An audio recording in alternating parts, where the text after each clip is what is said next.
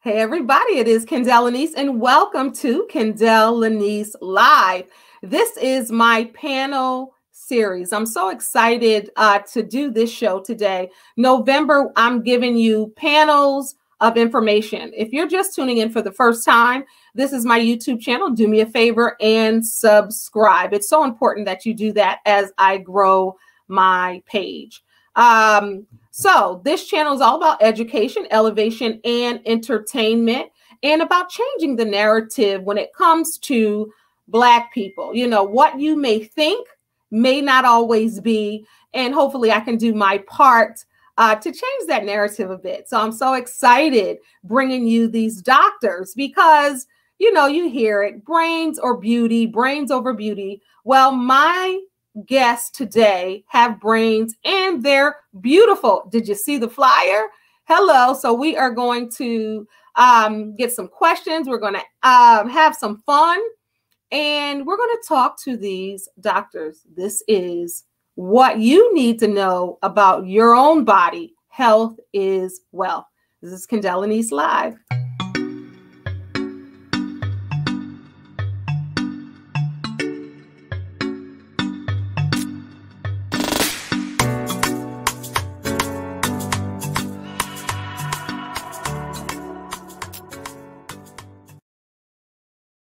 All right. So I'm going to give you a moment to share this with your friends and family. Uh, share it on social media. Let's do that for a moment. Let's take a moment to share this. And then we're going to have my guests come on. So let me even share as you share because we are all the way live. Somebody you know may have a question so let's take a moment to do that.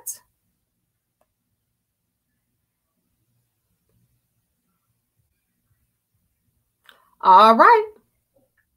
Now, without further ado, let me introduce my guests one by one. I'm going to give you a little information about them, but I want them to be able to take a minute or two to introduce themselves to you. Who do I want to start with? All right, all right, all right. Let's see. Well, we're going to, I was talking to one of the doctors earlier, Dr. Sandra, when she comes on. We were like, hmm, we have a doctor for every stage. So, of course, the first stage is when your parent is pregnant with you, and that would be an OBGYN, right? So, we are going to welcome, I want to make sure I say the name correctly. Sandra Higginbotham, MD, board certified OBGYN and America Board of Integrative and Holistic Medicine, functional medicine provider, founder of and the owner of the Women's Health Solution. All right. Welcome. Thank you, Ms. Kendall. You did pretty good. You did pretty oh, good. You. Chandra. Chandra. Sha- is it Chandra? Sh- Chandra with the hard C, Chandra. Chandra. it's very okay. See, it's very important for me to say your name correctly because people call me Kendall, Kenya, everything. So and it's Kendall. So I, I'm very, I want to be very specific with your name. So Chandra. Chandra. Chandra. Chandra. Yeah. Got it. But that's All why right. I changed the, the, the title. People just call me Dr. Higgy. You know, because of that, I just say just Dr. Higgy. Dr. Higgy, but we don't say your name right on this okay, Work it, work it, lady. this is Chandra, but Dr. Higgy, that's kind of cute. I like that. Next, we are going to start uh, finish off, or I should say, continue on with the pediatrician. Uh, Dr. Maia Walton, MD, board certified pediatrician, functional medicine provider, and Medical Academy of Pediatric Special Needs, MAPS, provider, co founder of the M Center for Pediatric Wellness. Maia Walton, where are you, Miss Maia? She's waving.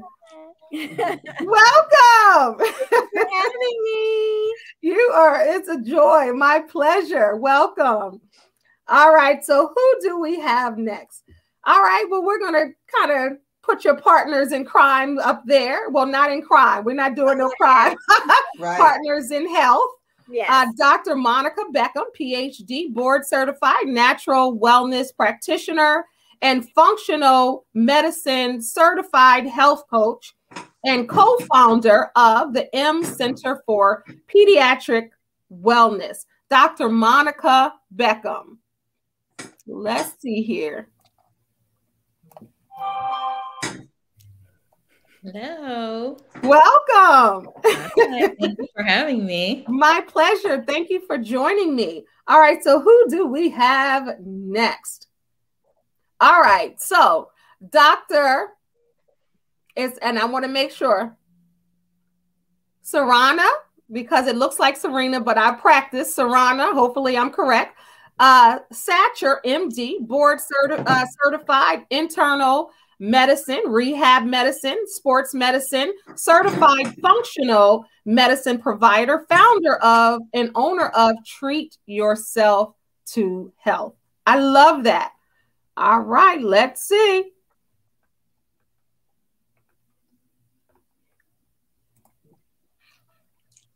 Welcome. Thank you so much. Look, just all this beauty in one look in one little uh Hollywood square. so so my first name is Sarana. Sarah, and you know what? Uh, that is ab- look like you don't know, but that is absolutely correct. I was saying that Dr. Sandra can uh, vouch for me. I was saying Sarana, and now I said, "Yep." I see. I shouldn't have looked at the spelling. Sarana, welcome. Thank you, thank you. But it's okay. I've been answering to everything all my No, life. I'm gonna I'm gonna call you by your correct name because that's your name. So I don't want to uh, dim it down. All right. So who do we have next? My girl, Dr. Sonza Curtis, ND, uh, neuro, uh, neuropathic doctor and physician's assistant, and certified functional medicine provider, founder and owner of Three D Wellness. My girl, Dr. Sonza. What's up, y'all? Hello. Hey, Dr. Sonza. Hello. Welcome. She's not she's not uh, new to this. She's true to this. I've interviewed her twice. So this is my girl. Thank you for rallying the troops for me. I appreciate you. You know that. My pleasure. All right, last but definitely not least, I feel like this is like a basketball team. You know how when they call out and everybody runs out like woo woo woo woo. So she's still sitting on the bench. So we're gonna get her up here too. Dr. Naeema Ola Tonji. Hope, hope, okay, hopefully I said that right. Is a doctor of chiropractic uh, founder of Elevate Family Chiropractic, certified in pregnancy and pediatric care. Dr. Naeema, let's get her up here.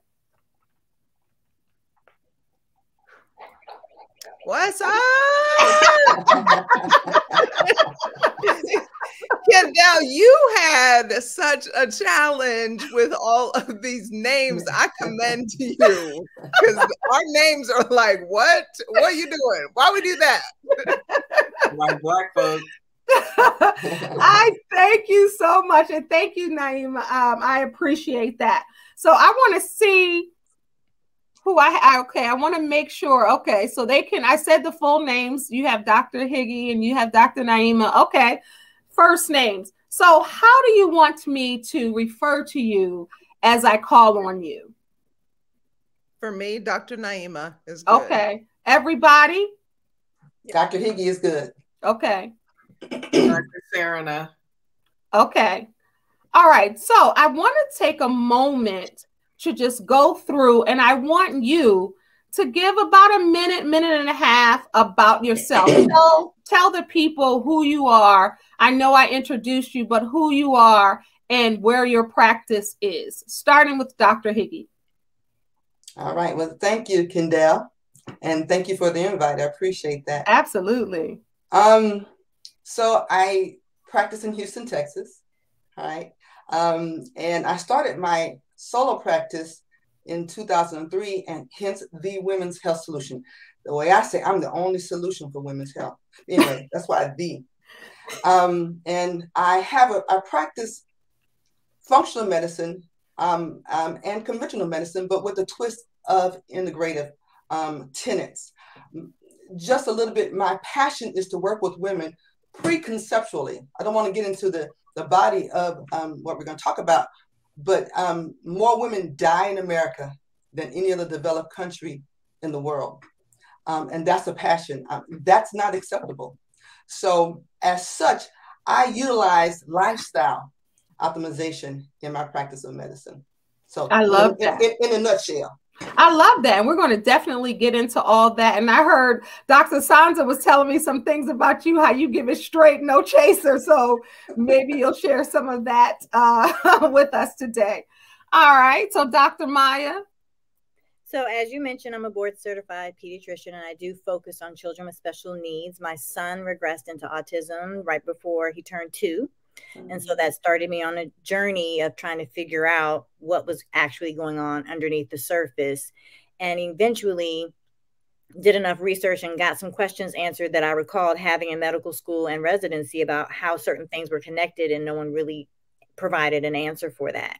And started to see him begin to grow and heal and develop. And we were um, introduced, Dr. Monica and I were introduced by a mutual friend because she was having similar challenges with her son. I don't want to steal the thunder. Um, but we started helping each other and then helping a friend and a friend of a friend. And we said, wait, we need an infrastructure to do this in an organized fashion. This is clearly what we're called to do to help I other love families that. like ours. I love that. And I love the fact that you're working together also. I love that. All right, Mr. Um, look, Miss Doctor, Miss Doctor, the good doctor, Sonza, uh, if you can share about you and your practice and Well, where you are. I'm Sonza. Um, I'm a naturopath and a PA, and I'm in Roswell, Georgia. And um, actually, medicine found uh, natural medicine found me. My great grandmother was a herbalist and a midwife, and because of my own challenges and my family challenges, I came around full circle. So got trained in functional medicine, met all these be- most of these beautiful ladies at the IFM conferences, and uh, we are kind of patients of each other. So we just kind of this is my crew. So when you ask me, could I get a crew? I said, girl, please, I got a crew for you. so that's who we have. And really, I focus on my whole thing is teaching people how to tap into their innate ability to for their body to heal itself. Our body has all the things to do. We just got to get it proper environment. And my goal is to heal 1 million guts before I leave. I'm also known as the gut doctor. Well, yeah, and I and you know I know a thing about guts. Um, a lot of people don't know, but I am a colon cancer survivor. A little about a year, not even a year and a half, so about over a little Wow. over a year. Yeah, Congratulations. thank you. You're a Thank you so thriver. You're not a survivor. You're a Yes, thriver. a thriver. Yep, you corrected me before. A thriver for sure. So thank you. So gut health is extremely important to me, just health in general. And the reason why I said um, what you don't know about your body, because this is your expertise, all of you. So you'll be able to teach some things to a lot of the uh, viewers. And we have a lot of people on right now. And that's really what I want for people to really understand how health is wealth. You know, people talk about wealth being money and tangible things, but you can have all the money in the world. And if your health is declining, what does that even mean or matter? Exactly. You know? All right. So we have Dr. Sarana up next. I said that right. Thank you. You're thank you for inviting me. You're welcome. My Honored to be pleasure. Here with all these ladies. So I started out in internal medicine at one of the Harvard hospitals, and I trained at Joslin Diabetes. I was interested in the heart, and I was interested in the endocrinology aspect of internal medicine. But then I figured out when I went out and worked in the world for a year that I was frustrated because medicine was teaching people to be dependent on medication. Mhm. Um, so then I found physical medicine and rehab, and that was definitely a step up, and it's more holistic. And patients were coming back and thanking us for helping them to get back to their baseline. So I got a lot of reward out of that. But then I took it a step further when I had my own health issue with fibroids. Mm-hmm. And I had to figure out how to rebalance my body. I actually, like, the way I found out I had fibroids was because I was running in a triathlon or I was mm. participating in a triathlon and I had to stop to use the bathroom. And I had done a bunch of races before, I never had to stop to use the bathroom. So after I had this huge fibroid that was the size of a softball taken out, um, that's when I decided that I had to figure out how to stop the rest of them from growing. Mm. Yeah. So that's why I went into this back in 2004. Yeah.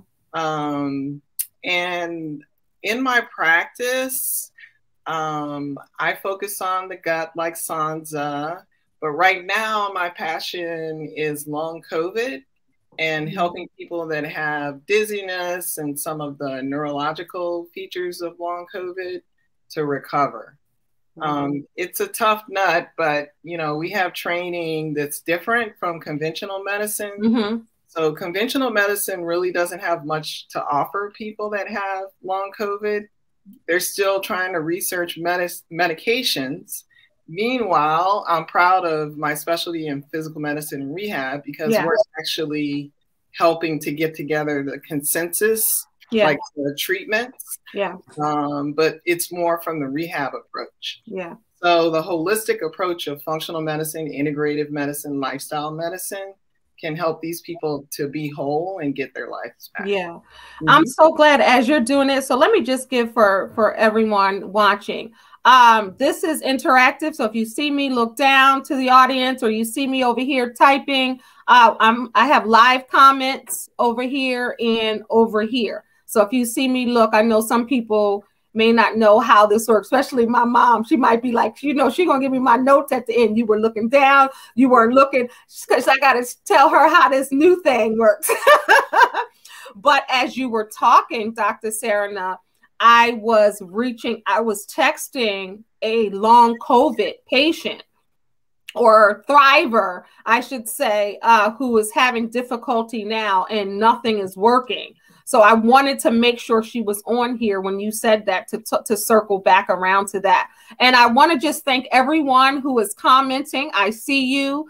Uh, gut check. Uh, Dr. Sonza Curtis, everyone. It says, Congratulations, Kendall. What a great opportunity to speak on health. Hello, ladies. Hello, ladies. Good evening, ladies. Um, so we'll have a lot of uh, interaction. If you guys have a question watching, make sure you drop it in there and we'll try to get to your question. Up next, Dr. Monica. Hi. Um, so my story is kind of a hodgepodge of, of Dr. Sarana and Dr. Maia's. Um, I had a slew of medical issues kind of growing up in general, even into adulthood and dealing with infertility and then dealing with a very challenging pregnancy with blood clots that they couldn't figure out. And mm. my background is a PhD. I'm a researcher by trade. So mm. I dig, I find the answers, I put pieces together. That's always been my nature. So I was in the hospital trying not to die with this baby and finding researchers and finding articles and sending stuff to my, you know, my perinatologist. And we're trying to figure yeah. things out together. I'm like, did y'all research this? So that's always kind of been my nature to dig deeper than what conventional medicine could offer to help yeah. figure out what was going on with me. And then when my son was a couple of years old, we were starting to experience some challenges with him, and I wasn't getting the answers I needed from my pediatrician who had yeah. Pretty much nothing to offer. So, again, starting to dig deep and using my research background to investigate that there really are so many answers out there yeah. the, the information is there a lot of people just don't know where to look how to understand it and a lot of traditional providers that's not what they're taught and then they don't find the information that actually does exist out there and so it does take a functional or a holistic or an integrative practitioner to put those pieces together and really help lead people to healing so yeah how i got into all of this i love that and where are you where's your practice we are in the suburbs of Atlanta. We are in mm-hmm. Roswell, Georgia. Okay. And Dr. Sarana was talking there, you were talking about um, fibroids. Oh, my God, I know all too well about fibroids. I had terrible, terrible fibroids um, that was pushing out my uterus, and I looked like I was five or six months pregnant. Um, they were in there and one attached to my fallopian tube. Like they, the people don't even understand the severity and the pain and everything else that you have to deal with with that. And then listening to Dr. Monica, I'm listening to all of you be like, okay, I, I, can relate to that. Okay, of course, OBGYN, pediatrics, okay, chiropractic. Up next, Dr. Naeema. I started seeing a chiropractor when I was in high school. Back in the day, I'm from South Jersey, and back in the day in gym, we would have to bend over and they would have to check the spine to see if there was a curvature. Mm-hmm. And I have an extra uh, vertebrae. And um, I found out um, even though I'm 21, I found out in 1988 when I was in high school, okay? you do the math. These are not mathematicians here, okay? So hopefully they won't find out. But your um, math is math. right, right. My math, my math is math, special math. That's what I'm what I have. But this is the old math. but in 1988, I discovered um, that I had um, scoliosis. And then later on, I discovered that my mom had it. And later on, I discovered that my grandmother had it. And had it not really been uh, for high school and getting checked, I don't. They don't even do that anymore. My daughters were in high school, they didn't even do that. But that's how I found out. So this is Dr. Naeema, everybody. Hey, I am so happy to be here, and I'm really happy that you mentioned um, your particular shared your story. I think one of the things that we often, and I think all of us can attest to that, come up against is the misnomers and myths around what it is that we do. But more importantly and more influential is other practitioners and other healthcare providers not understanding what it is that we do. And they perpetuate myths and fears onto other parents. And it's really unfortunate. Um, mm-hmm. I, I practice also just up the street from uh, the M Center and uh, 3D Wellness. And it's been such a blessing to have colleagues that are so nearby that we can just have a conversation and reinforce how important it is the work that we're doing because sometimes we don't get that just from our community of um, people who just you know uh, patients who want to get better but they there's some fear that sort of is in between their healing and you know what they're being told from other healthcare providers. And it was a little bit like that for me.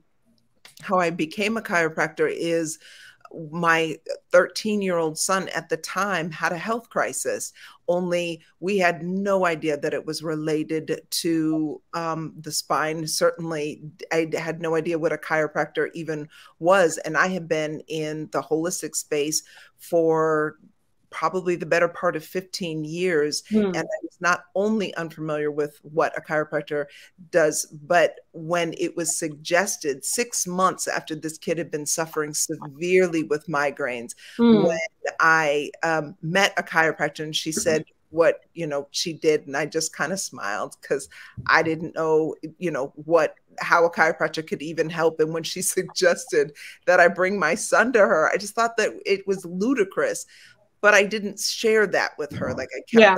my thoughts to myself. And it was an entirely different reason uh, why how we ended up in her office. But she did ask me this one question that I thought that was so pivotal for me in the moment. Uh, he had been suffering severely for six months, and mm-hmm. when she said, "You have tried everything else, mm. what, it can this hurt?" And I just thought, like, no truer words could have been true. We had run the gamut of all the holistic pra- practitioners, and then we went on to the pediatrician, and then the orthopedist, and then the neurologist, and we just ended up with a whole bunch of prescriptions, yeah. Of side effects, and no solution. He still had the migraines, and when we finally um, were able to get him that very first adjustment, watching him transform from this kid that was in so much pain that yeah.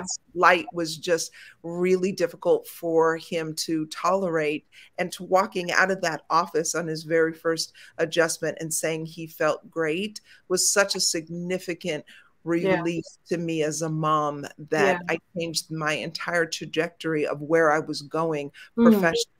Oh, wow. And it's pretty amazing. Today we had an, a family for the very first time with a different uh, crisis for their son, but they were thinking, how can a chiropractor help? My son has severe constipation. And after his adjustment today, before he left the office, his bowels moved. Like that's that's wow. Huge. That is so huge. And I I think that it's such a joy that we get to sort of collaborate and have this conversation mm. tonight for all of the people who would not necessarily think that we can provide you know solutions and resources to what their families are suffering with. I think is pretty amazing.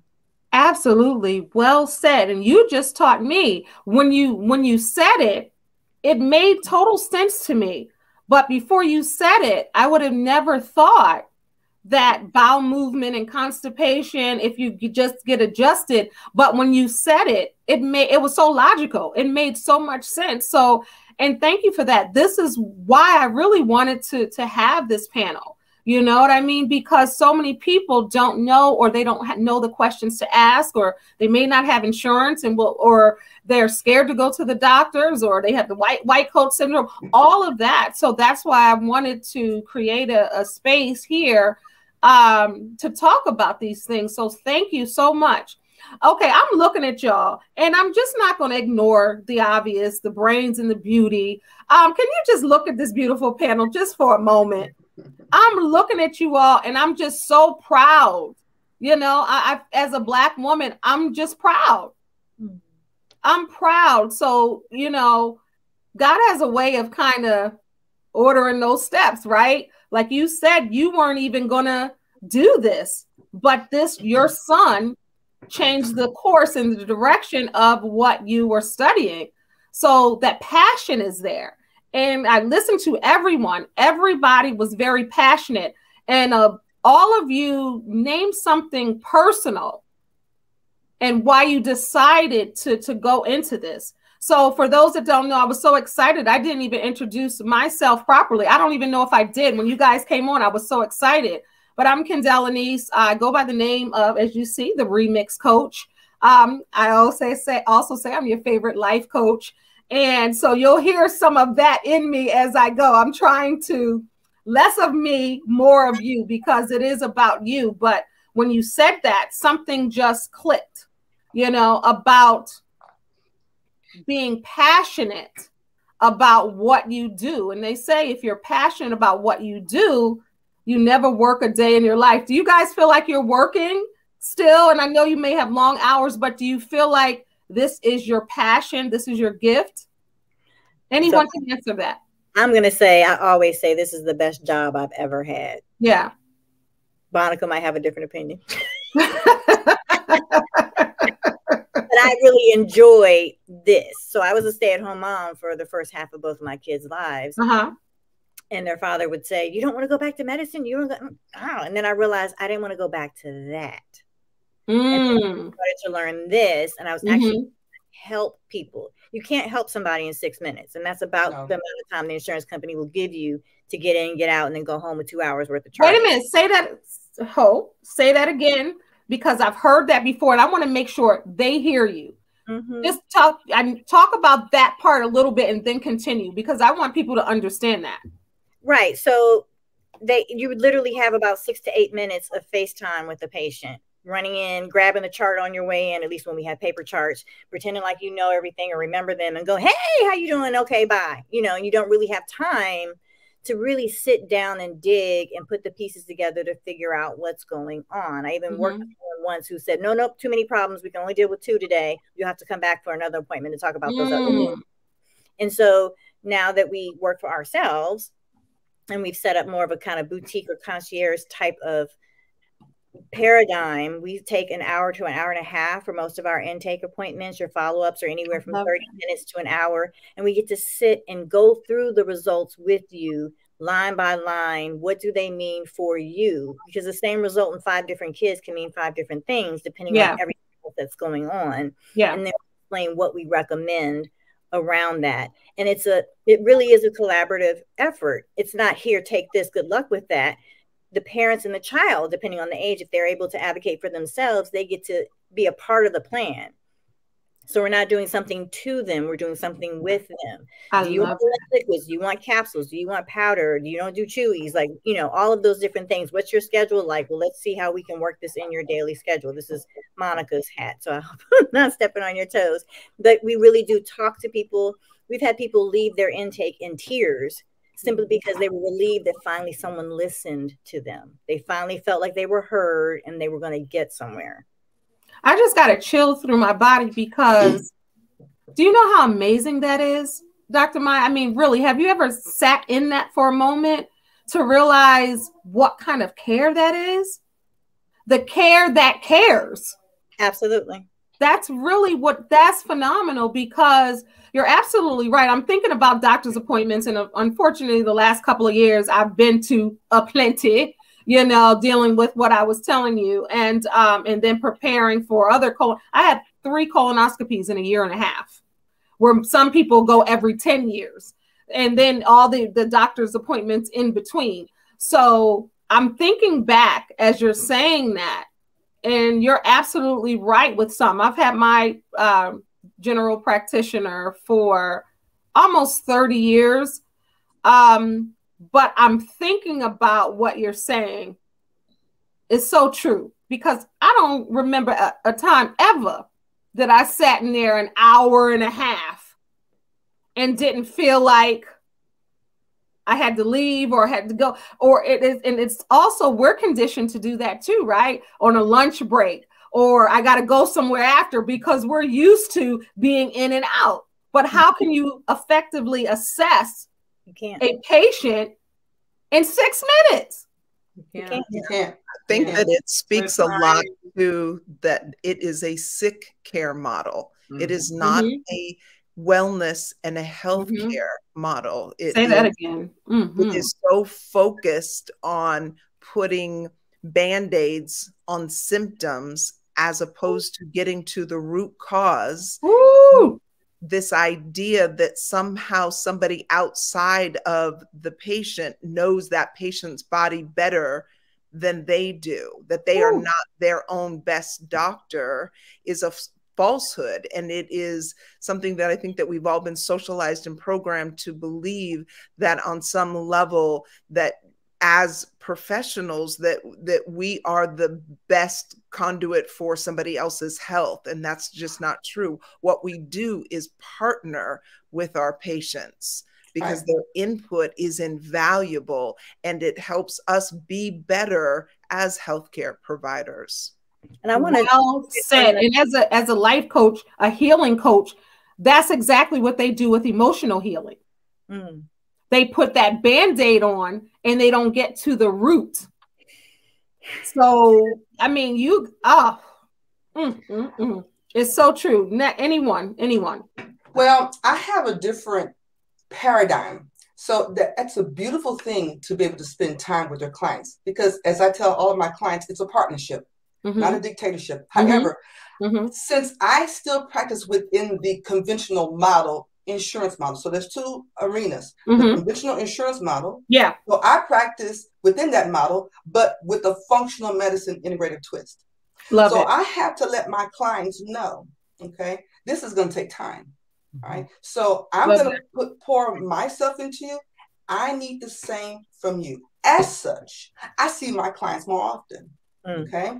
I do that. I might see them once a week. Now, just a quick thing about um, pregnancy. There's two ways that um, there's two types of, insurances out there: Medicaid and traditional insurance, commercial mm-hmm. insurance. Okay, mm-hmm. so Medicaid is fee for service.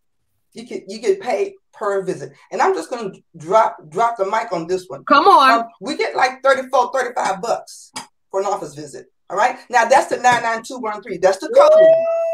That's the coding. Okay. Woo. And if you go beyond that higher, you get audited. And I've been audited before. Okay. Even though I document everything. Wait, I don't want you to go past this. Okay. Dr. Higgy, because you just said something. The gates are open. We're gonna yes. walk right in because you money. just said something. Right. You just said something. And when we talk about healthcare and we talk about um poor people, they can't even afford the O and the R, the other O and the R, and you talk about adequate, efficient health care. But if they're paying $35 uh, uh, and you want to, they want you in and out because they have this state insurance. This you is can't why get quality care. There's no way you can't pay the bills with $35. So it's microwave medicine. Mm-hmm. All right. So yeah. then there's then on the other hand, with commercial, we're talking about pregnancy now. With commercial insurance, it's global, meaning we don't get paid until the patient delivers. All right. Mm. So what is my incentive mm. to spend more time with that client mm. and see them more often? I'm gonna get paid the same if I see them every four weeks, every six mm. weeks, versus if I see them every week. Now I don't use that as my paradigm. Right, right, God right. is my source and my resource. Come on, hello. Okay? So yeah. I don't I don't practice medicine based on what I'm getting paid. Yeah, I'm gonna get paid because I'm gonna be sitting there right. Hey, Jesus, how you doing? He can be right here. All right. So so the thing is the pay system. So you have to set the expectation in the beginning when you begin to confront the client. Yeah. You have to let them know the situation. Yeah. Right? And informed it. if you want me to take care of you, I'm gonna need your time and your effort. Yeah. I'm gonna give, I'm gonna pour all of me into you. Yeah. But I need you to see me more from, from my in an yeah. OB perspective. Yeah. I need you to see me more often. And that's what I do. And I've just started my lifestyle classes with my lifestyle strategist as an addendum to what I do in the office. I love I, it. I kind of talk a lot, you know what I'm saying? I so love I, I tell them so much sometimes they're we have think gaps, so they're not going to retain it. So now to cement and to concretize what I say, I've got my lifestyle coach. Um, I call him my lifestyle strategist. You're a uh, lifestyle strategist. Yes. Well, I have some comments and I just want to read. Kevin says, I agree. I was misdiagnosed for years for headaches, five minutes in and out, not diagnosing properly. I left that healthcare provider. And then I have well said, Dr. Naeem. I believe that is why a lot of Black people don't go to the doctor, which leads me, let's see, which leads me to um hmm, the strong Black woman. Let's just talk about it. Mm-hmm. The you strong. Black woman, mm-hmm. she don't feel any pain.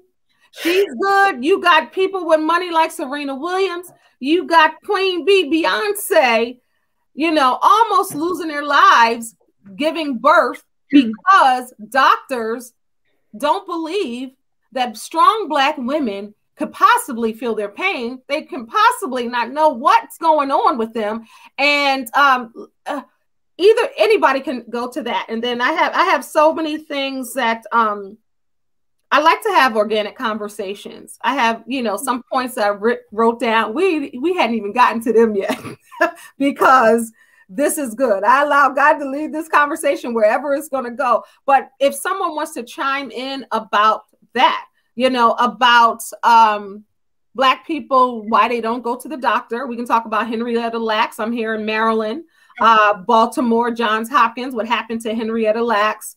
Um, I can tell you right now, um, I'm from South Jersey, but I've been living here for most of my my adult life now, and they're still scared in Baltimore because of what happened to Henrietta Lacks. For those that don't know, make sure you do your homework on Henrietta Lacks. But they used her cells to create different medicines and all of these things uh, with her DNA without notifying her, without telling her she had no clue. And in Baltimore, it's um, people, when I first moved here, people were like, they didn't want to walk around Johns Hopkins at night because they were thinking like body snatchers and they were afraid of the doctor. And people really still feel that way in this area and a lot of urban areas uh, around. So, anybody want to talk about that? I know I said a lot there, but any, anyone can chime in on that. Well, just real quick, in, in recent research confirms a black baby is three times more likely to die if treated by a white doctor. Mhm. Period. And there's Dr. Sims as well, who's the father of gynecology, Period. on African enslaved women, no anesthesia. So every time you go to get a pap smear, you have an enslaved African woman to thank who he experimented on while alive with no anesthesia to understand our female anatomy. And he's buried in, I think, Central Park somewhere. They finally took down the statue, but Yeah, Dr. the statue. Yeah. Mhm. Wow. Mhm. So The Dr. Saab, tragedy, the tragedy is is just the disparities in healthcare and we are all participating like all walking around and knowing that this exists and yet it's i believe that it's conversations like this that help bring mm-hmm. this to the forefront so that we can have an open dialogue about Yeah. how important it is because you cannot ignore Yeah. your health because it is the one true asset Yeah. if it is if it goes away you're going to spend all your time and your resources Yeah. Trying to reclaim it and I, I think that dr Sonza um, you were doing a panel on healthcare disparities a summit excuse me before Can I say something right before Dr. Sanz? I wanted to go back to Dr. Maia quickly, and I wanted the viewers to listen. She said, when a baby is treated by a white, can you say that once more? Because I'm sure it happens in the other areas too, but I, can you just say that once more? Because I want people to really understand why it's important that I have these Black women on here, these Black doctors, and why it's important. Now, can you be treated by a white person? Absolutely. I'm not even, you know, we're not even, that's not even the point. The point is how specific and important it is. Can you repeat that once more? And then Dr. Sonza, please. Yes. So a black baby is three times more likely to die if treated by a white doctor. Period. Mhm. Period. With a T. Yep. That part. Dr. Sonza? Well, healthcare disparities, I mean, we all know it's been going on for quite some time. Like you said, practicing on, uh, OB, you know, OB procedures on women without anesthesia. They look at the statue of the black man and they look at him as being, you know, n- no pain. He can take the pain. Uh, when they uh, when they came in from Africa and beaten on them in in our men. So the reality is they've been practicing us for a long time.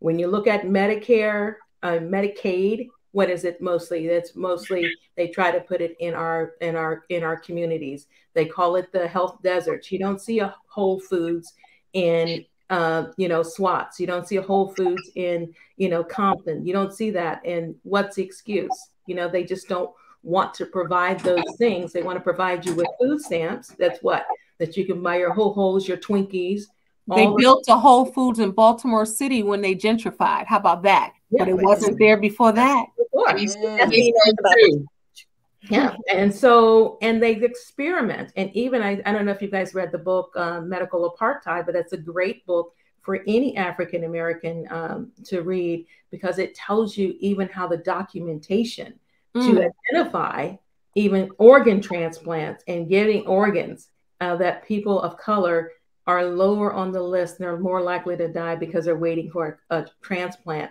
and how they came up with all the system for that.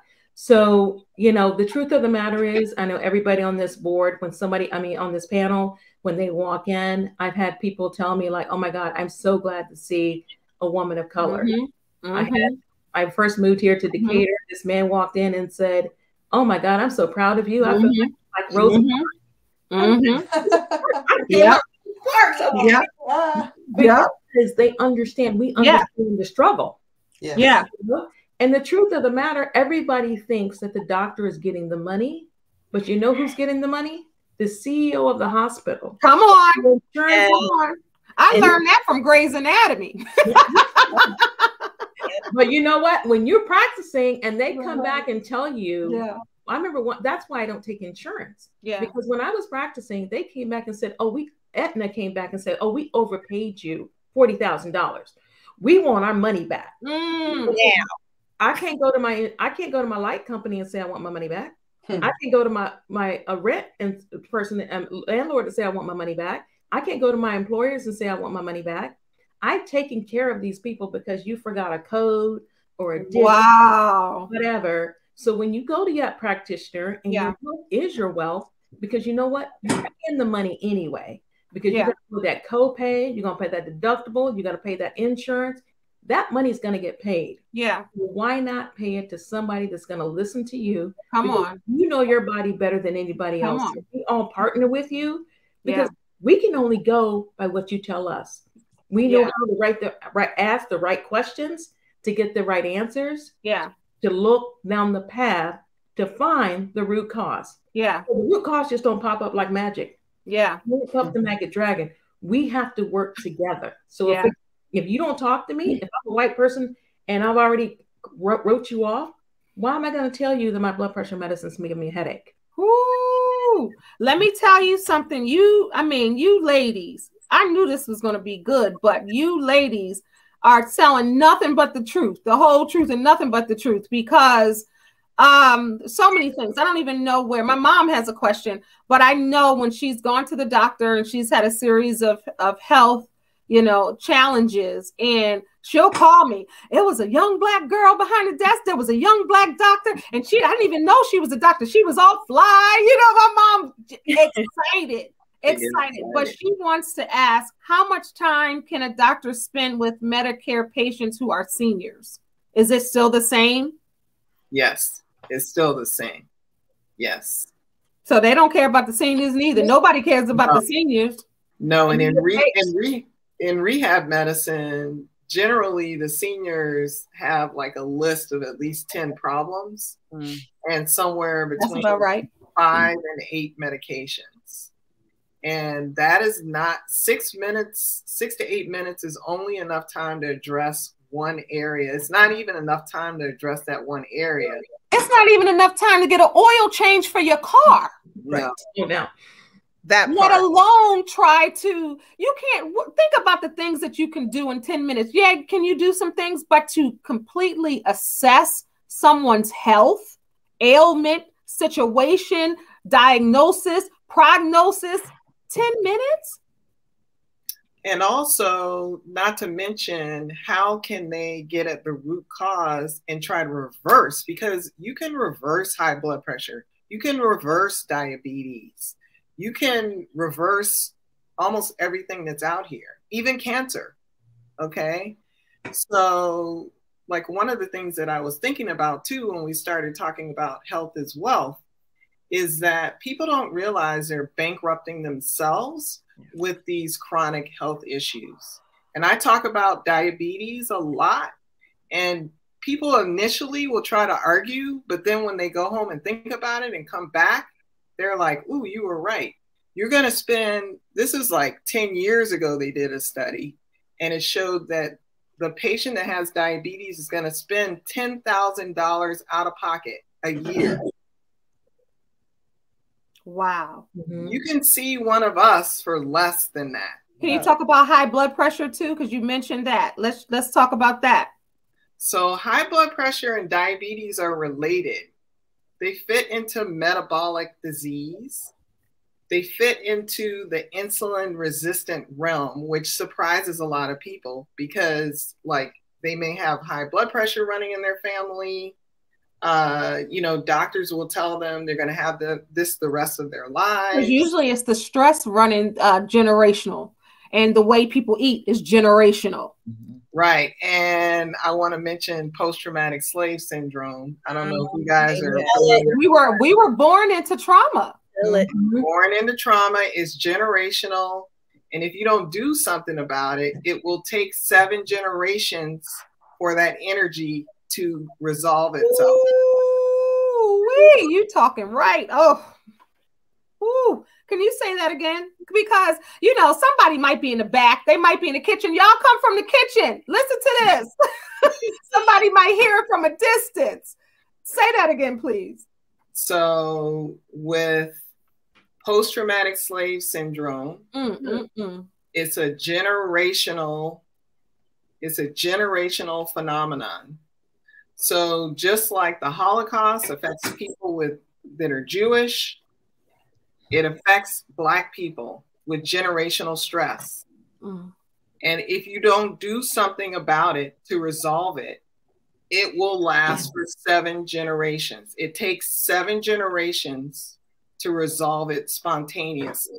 Wow. So my cousin Gina says something. Look, I hope this is my cousin Gina. She said this conversation is perfect timing for me as I just completed metabolic uh, challenge with my gym, and my body has begun to react favorably. It is now a life change for me and no longer a challenge. I love that. I love that. Life changes. I have implemented so many in mine, in mine too. Oh my gosh. Um, all right, let me ask you all um because we talked about what you need what you need to know about your body. You guys are already telling us. So does anybody want to share something um who hasn't shared about that and then we're going to move forward? That hasn't shared about what about you dr monica about um your body that people may we may think they know but they may not really know could be so many things. I, I, I know. oh no. Um, what what I do want to say, maybe not directly to that, but mm-hmm. is about being your own advocate. Yes. And you mentioned Serena Williams before. So for people who aren't familiar with that, after she had her daughter, so she previously had blood clots. Yeah. And then after she had her daughter, you are actually most susceptible as a woman to hypercoagulability or blood clots, like the first six weeks or so after having a baby. She started while she was still in the hospital to experience that familiar symptom in her lungs that she had experienced before pulmonary emboli, so clots in her lungs. She kept trying to tell her doctors, nobody was listening to her they kept trying to brush her off. Oh, you know, tired or you just had the baby or whatever. She's like, no, no, no, no. Like, I know mm-hmm. what this feels like. You mm-hmm. need to go ahead and take me down for a scan. She mm-hmm. had to, mm-hmm. it took days of her pushing. And then finally they did so. And she actually did have blood clots in her lungs. This is Serena Williams, who's having to fight and advocate to be heard for a condition she's also already had before, which also put her at higher risk so imagine if it was Serena Jenkins. Exactly. Mm. Exactly. When I was in the hospital with my son, I had blood clots. So I was there for months. And luckily, my perinatologist was a black doctor. And she and I kind of bonded early on. I had her personal cell phone number, which I, I love her to this day. And there were many times in the hospital, especially at night, you know, some young white attending or young white fellow would run through and think they knew all the things and try like we think we're going to dismiss you tomorrow. The hell, the hell you are. What you're not going to do? Mm-hmm. Like that's not the plan. Mm-hmm. I would text. I would text her like, "Home, you know, Billy over here is trying to kill me. Okay, so I need you to get Billy in check." The next thing you know, somebody else would come in and be like, "It's fine, everything's fine." A lot of them did not like me, but I That's okay. have the wherewithal to advocate for myself. Yeah. Yes. And my knowledge and myself. And luckily, I had a relationship with my doctor who was a Black woman. I genuinely believe it's so important. Had not been Black. I do not know if me or my son may be here. My condition was very severe. It was that relationship and me advocating for myself, even yep. that, and not being scared to use her number. Yep. Hey, hey, Yep. Really over here tripping. We not. Yep. Yep. And but you know what? Oh my God, Dr. Monica, you're so right. This is why this is, is so important. You know, we talk about, and I have a therapy uh, therapist panel coming later this month. But that's why it's so important to really, you know, people can say what they want, but to get someone that looks like you, that can understand you, even even if you the looks, yeah, the slang, because yeah. somebody may not know how to articulate what they want to say.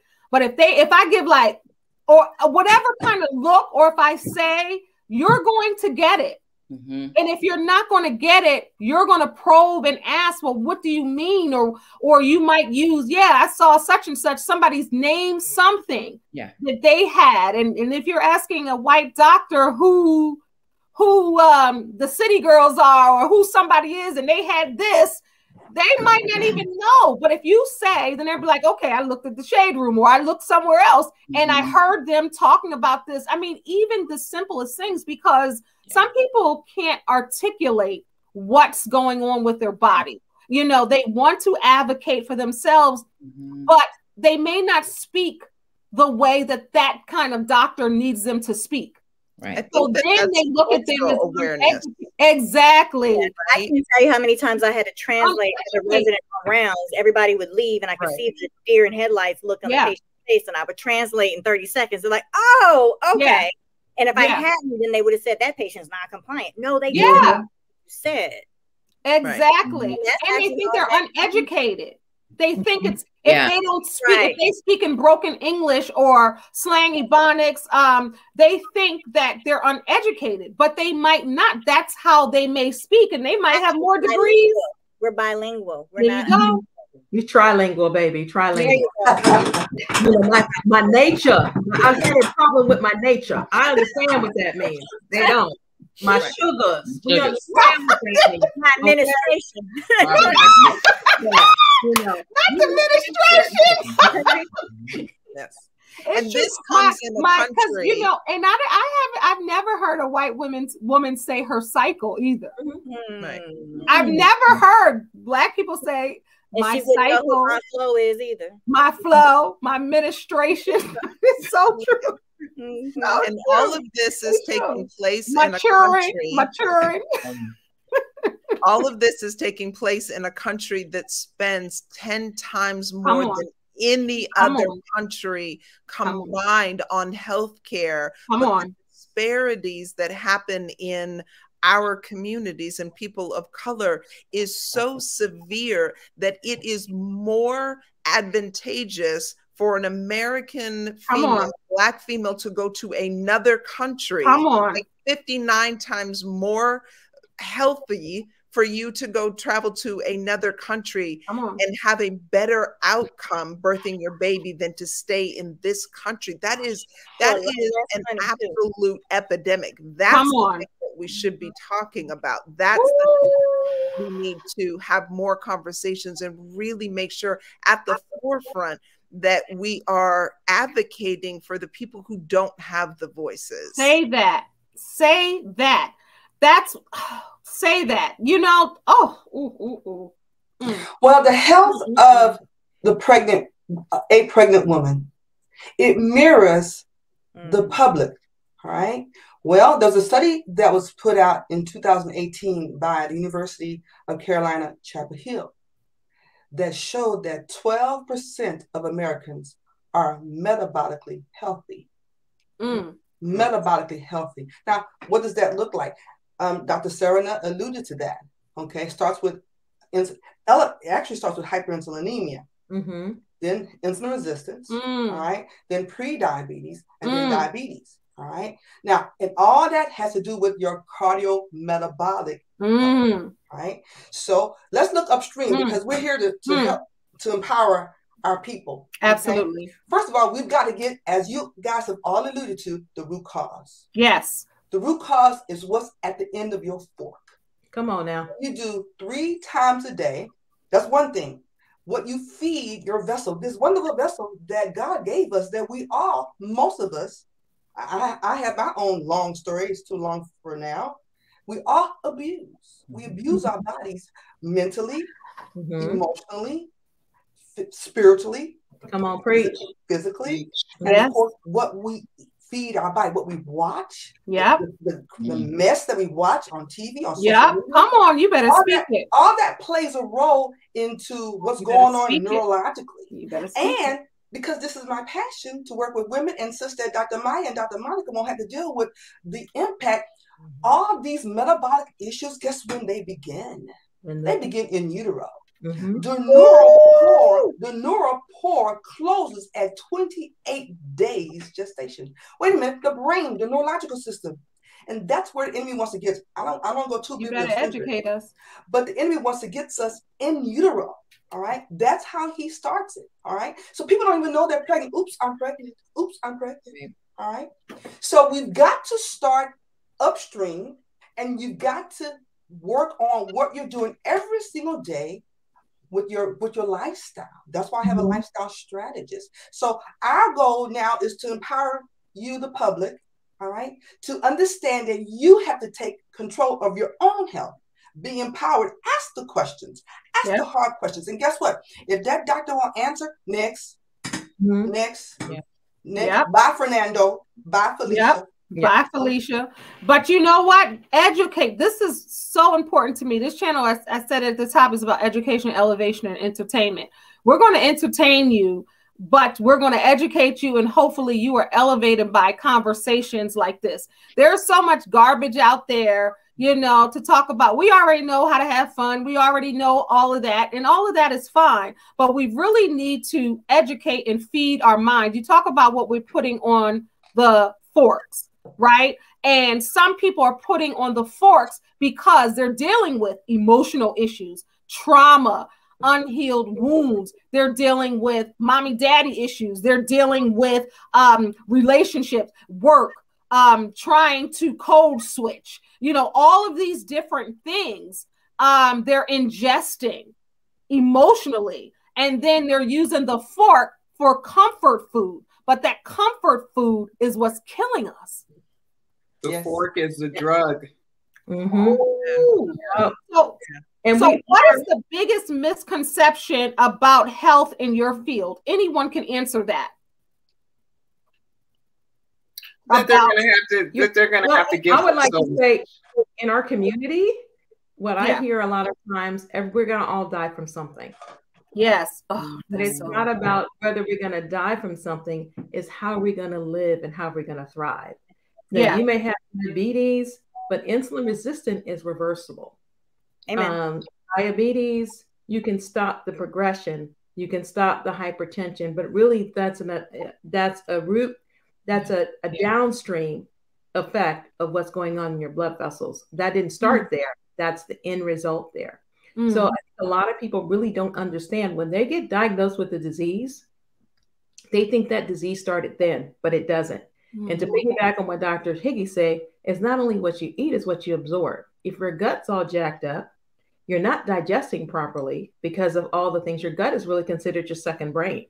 So you have bidirectional gut skin axis, gut brain axis. So a lot of times you don't need a, a, a, a as we used to say, anti crazy pill because that's what we speak our language, right? Mhm. Um, but you may need to just clean up your gut. And those 75% of those chemicals that balance the brain, they're stored in the gut. I want you to pause. I want you to say that again because when people say I have a gut feeling, a gut intuition, everything that feels it comes from the gut. So I want you to say that again so they understand. Like that's where a lot of things are birthed. Can you say that again, Dr. Sonza? So the gut is really considered the second brain. Mm-hmm. It has 75 to 85% of the chemicals that are stored that we think is here, the serotonin, the dopamine, it's really stored in the gut. So it's almost like you have to take care of your gut. That's that's your that's your safety deposit box. You know, Mm. you have to make sure you take care of it. You put what is in need in need it. You need if you're digesting, if you're eating on the go all the time, a lot of times, especially with us in our community, not saying bad or good, but we think in order to be healthy, we have to be vegan. But I've seen some vegans that are unhealthy. Slutty vegan, I'm sorry, that is not healthy food. You cannot go to the slutty vegan and think that you're eating healthy just because you No, but it's it's good. It's good though. when I But- visited, you know what? They had the hype around it. I must confess, when I went to Atlanta a few years ago, everybody was talking about it. I tried it. It is great, but that's not something we have to understand. Like you cannot eat that stuff every day. Just No. because it's vegan, just because it's vegetarian. I think I'm so glad that you made that point. Just because it's that, you don't OD on that. it's So about I'm- balance. It's I'm about glad you brought balance. It's all about balance. Yeah. And you, you know, you need to feed what the body what your body needs. Yep. Some people genetically and biologically, they can't be vegans Yeah. because they need that. Yeah. And then you take True. other medications that deplete you of the It's true. nutrients. Yeah. So you got to replace that. So that's why everybody on this panel so is, true. is is is important because your situation may be different from your twin. Okay. mm. because each you have epigenetics. So yes. you have everything that goes around that that not only is genetically, but what's going around you. Are you exposed to fumes? Are you exposed to mold? Are you exposed to a bad behavior? I mean, a bad marriage or all of that. That's gonna that's gonna translate something different in the medical than the somatization on a manifestation of what's going on on the inside. Trust me, I know about that too as I'm going through that right now. And I had to release that from my body. That's not going to take me down. So you're absolutely right. You're 100% correct because it was a, a lot of different things. My blood pressure was slightly high for the first time in my entire life. And when my doctor, I started telling her some of the stuff that I'm dealing with, y'all have no clue what I'm dealing with. And she was like, duh. And I was like, duh, because I knew. And then I had to look back. I said, Mm-mm, nope, it's not. Because it's so the way you process things emotionally. People don't understand that that affects your health when you're stressed, worried, concerned, when you're um, going through menopause. Menopause toxicity of any kind. People don't understand those type of things. So imagine the older, us older, because I'm 50 and over, right? So you deal with the menopause or premenopause. You dealing with um, stress or divorce or relationships. You're dealing with some people have you know younger kids, grandkids. You're dealing with um, whether you're going to um, quit a job, start a job, lose a job, um, start a business. To think about all the stuff that people are the deaths, sicknesses, you know, here for that. Because the black woman, and I, I, talk about this all the time, stop saying in 24 hours you can go to the baby shower, the um, the wedding, the funeral, the um, the baby's uh, first birthday, the christening, to this in 24 hours. People are killing themselves to try to be all they can be in this strong black woman who's loyal and can do everything while they're killing themselves. And it's one chronic one stressor after the next. And so it becomes this chronic cycle that we uh, are all enduring and without interrupting that cycle. Yes. and you know with healthy habits because we all know when we get stressed we default to some unhealthy habits. And if we can be re-reminded of how important it is to create good healthy habits yes. and maybe you don't do 24 habits right away but you start slowly but yes. by committing to hydrate properly and then yes you commit to making sure that you're eating a healthy breakfast and you know incorporating good proteins and yes. incorporating good healthy fats like one small step after the next gets you far more love that nets you a greater result than deciding yes. you're going to take on 15 new things and yes. by the end of two weeks you're exhausted and then you're right back to where you were you know in the bed with a box of twinkies which is yeah. you know, not helpful to you. Yeah. but if you've incorporated small wins then you're going to feel victorious then you're going to feel better. And if you build that momentum and then I think that we are so influential that we also influence those that are around us. So yeah. we elevate our bar, then other people get excited about what it is that we're doing and they want to then increase their yeah. healthy habits, which overall influences not only our families, but certainly our communities. And we, as Black women, I think mm-hmm. are so phenomenal in that way. And yes. we just have to start with ourselves though, because oftentimes we want to put everybody else's mask on.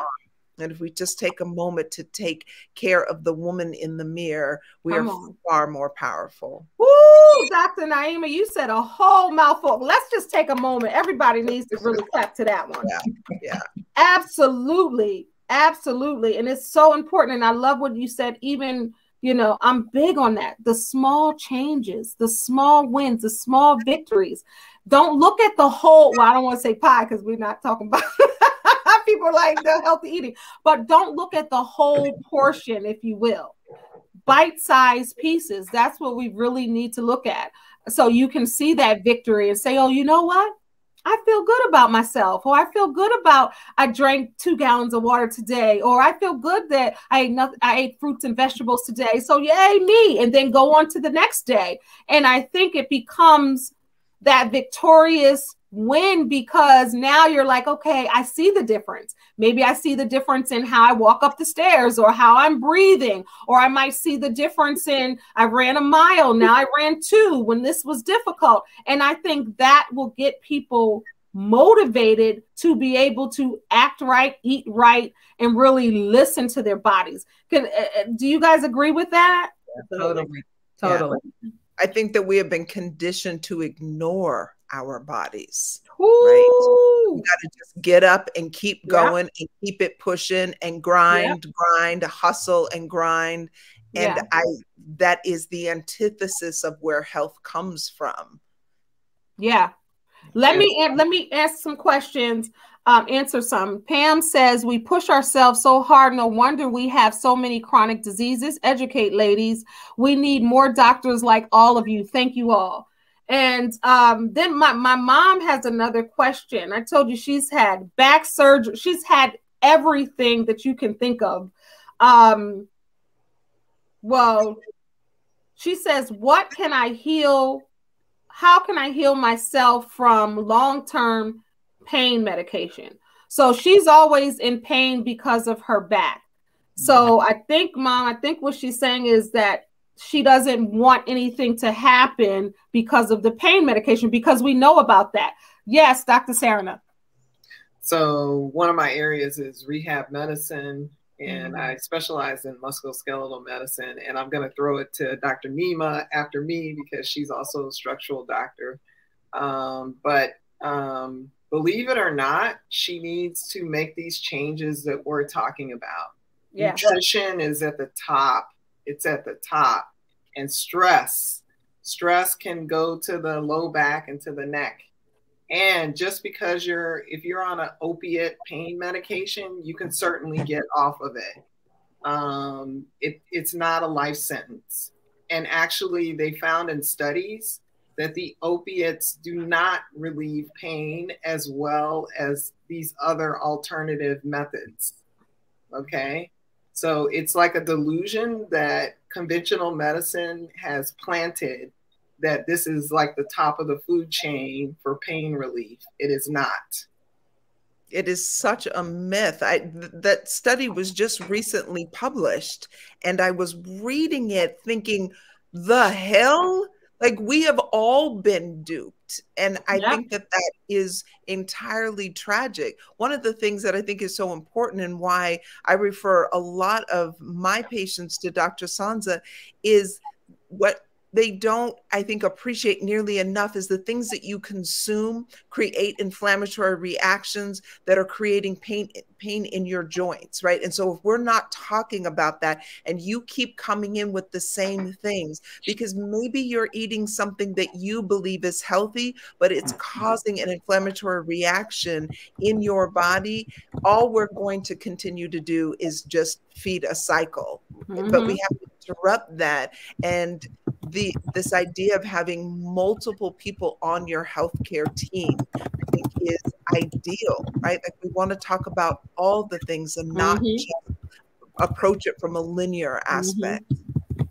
and I, am going to just add to what dr uh, naeema said that now in the treatment protocols like medicare is going to come out with this soon uh, chiropractor is going to be, and also exercise are going to be recommended in conventional medicine mm-hmm. for back for it low was, back pain. It was in the JAMA article years ago that that actually is the first line of treatment recommended now, sp- spinal manipulation. I've been trying to tell my mama, she won't listen.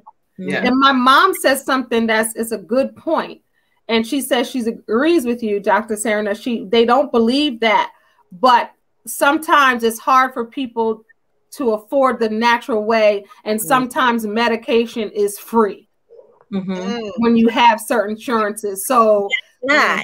I'm going to visit Dr. It's really free though. because you don't pay for it doesn't mean it's, free. right, because your body is paying for it too. Yes. Yes. A lot of times and those pain medication causes hyperanalgesia So they actually make the pain worse because Yeah. once those receptor sites are, Yeah. are, are, are- so you imagine playing musical chairs. Once Yep. those chairs are taken up, there's no place of it for the pain medicine to go. So it actually makes the pain worse. Yeah, I And so you can take some turmeric, cur- cur- uh, quercetin, and you know what? This really gluten is neuroinflammatory. Yep. Drop the mic on Yep. that. Because that is what Say that again. Say that again. Please say that again. Because this is we're doing the natural way. So many people are saying, you know what? I need to figure out how I can see you all. I need to um to get access to say that again about gluten because we are what we eat. You know, we've heard that since we were children. You are what you eat. And I think people thought that that was just something funny to say, or they didn't really understand what they were saying. And most people are living to eat instead of eating to live. Like people get it twisted. Well, it's no flavor, it doesn't taste this way. That's really not what the food is intended because we can cook and we can season. That's what we're used to as a culture. But it it's not for that purpose. It's to heal our bodies. So please can continue that. Am I right with that, Dr. Sonza? Please continue that. So, like I said, gluten is very neuroinflammatory. That actually makes your pain worse. Mm. And so, if people want to say, "What can I do?" That doesn't cost you anything. Doesn't cost you a dime. Changing your lifestyle, Yeah. movement, Yeah. your muscles like get stiff and rigid. But Yeah. you know, food, what we eat, can be very inflammatory because they change the way we've had food. The food that we had when my grandmother was alive, that's the food we got to pay all the money for. Yeah. We got to pay all the money without the antibiotics and without Yeah. the steroids and without the pus and all that and, Yeah. and all that stuff. But when we grew up, grandmother, they raised their own food. So that's another reason. You can make your own container gardens, Yeah. raise your own food. Those are some things that you can do that won't cost you a dime, but Yeah. just just changing, like like Dr. Diana said, making those small increments Yeah. changes. And it's no time like the present. Like it really, people, I, I understand even with coaching, people do this. People want to harp on what they didn't do and what happened back then. Yes, acknowledge that. But now we're in the present. Do better. Even after this show, if you learn something, I'm sure from each of these ladies, implement what they're saying today. Like you can start today, people. Don't worry about what you weren't doing. You can start today towards your future because you want to have a longer future, right? So if you want to have a longer future and you want to be healthy, because it ain't fun getting old if you're sick. Like you want to have a thriving future in a now. You don't want to just say, "Yeah, I'm getting I'm 50, I'm 60, I'm 70, I'm 80," but you feel like you're 180 it's not so don't get caught up in the age and what's happening now.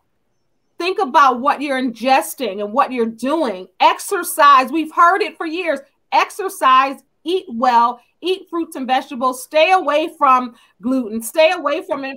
We heard that we hear that. And if you don't take away just just take away how you eat because you are what you eat. Go ahead dr higgy you were I, I, think a huge block, especially in our community, is the financial aspect. Mm-hmm. Because what my patients yep. frequently tell me, it costs so much to eat healthy. Yep. It costs so much not to eat healthy. Trader Joe is not is not expensive as people think. Exactly. So there has to be yeah, so it has to be a paradigm shift, and it starts with us. Also, um, trying to um, um, share that with our patients that you have to change again, as as Dr. Naeema says, um, bit by bit, base hits, base hits at a time. Um, it you can go to McDonald's and get a, a Happy Meal or whatever for six bucks, but guess what? You can also make a nice salad for 6 mm-hmm. bucks. Mm-hmm. And if McDonald's you, took salads off the menu, so that's oh, showing you what this what, what's happening. Wow. Wow. So it's about learning how to shop you got to learn how to mm-hmm. shop. You go to farmers markets.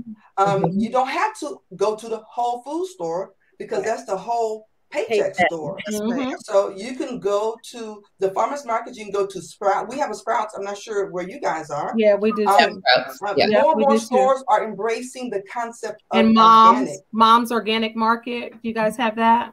Yeah. I love mom. Heard of it. I used to live in DC. Yeah. Yeah.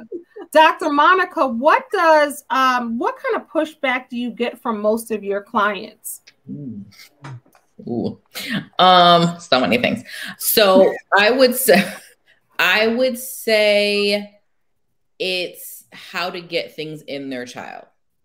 I can't get them to take it, or they'll only eat Mm. things. They're not going to eat anything if I take these things away, or you know, if it tastes bad, they won't. Uh, you know, they won't take it.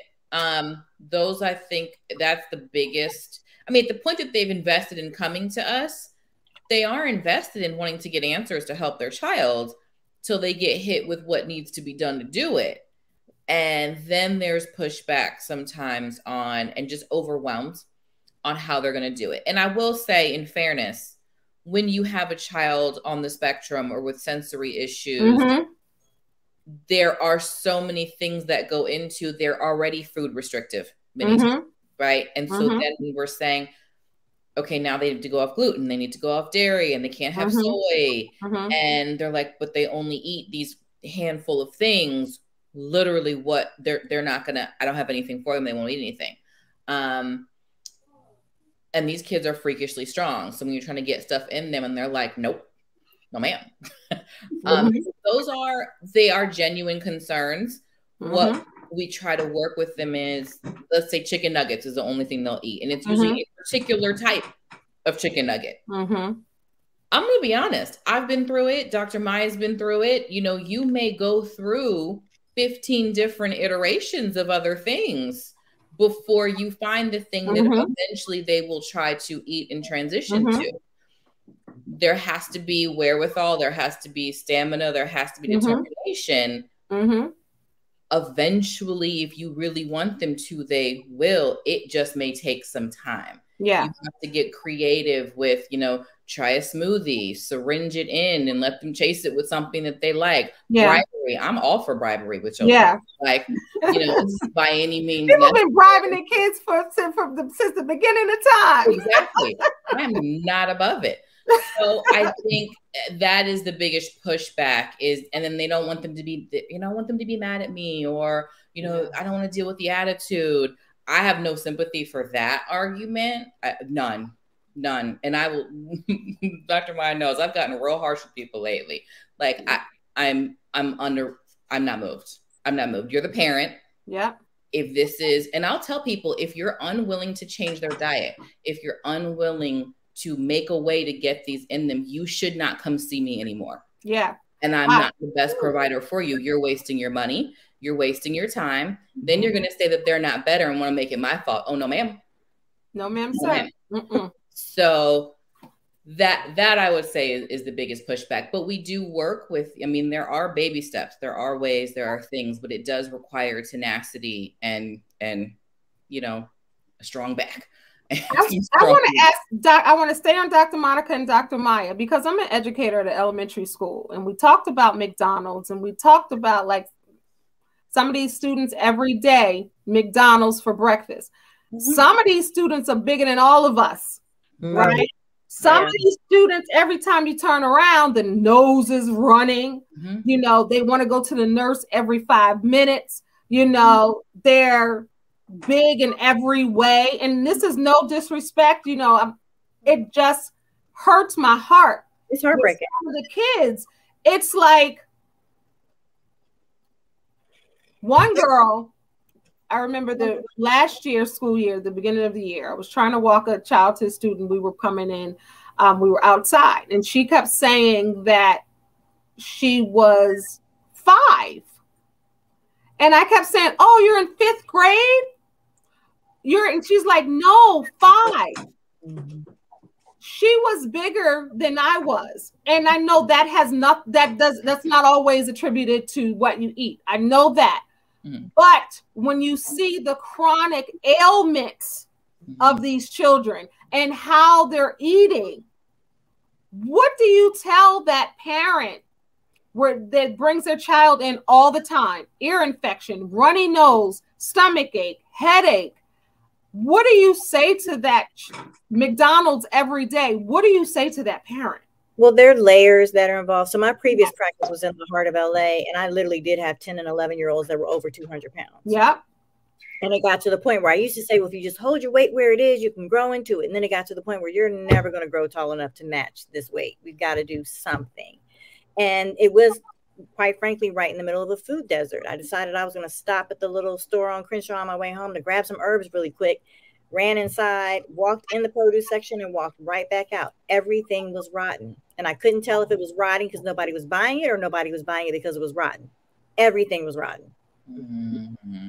And there are a lot of people that didn't have transportation. I'm like, well, you need to barter, offer to babysit their kid if they'll take you with them to Costco or something. What do you say to the parents that are in a rich area and this is That's a county school? This I'm in a county school with That's people pulling up with Benzes, Lexuses, uh, Mercedes. Well, they got the latest sneakers, the shoes. They so got all the accoutrement. They're rich because I will tell you, there's no McDonald's in Beverly Hills, which was three to six miles from where I worked, where there was a drive-through on every corner. It's so much so that the uh, count city councilman had an ordinance passed where they couldn't install any more drive-throughs as mm. his to decrease the obesity in the area. Mm.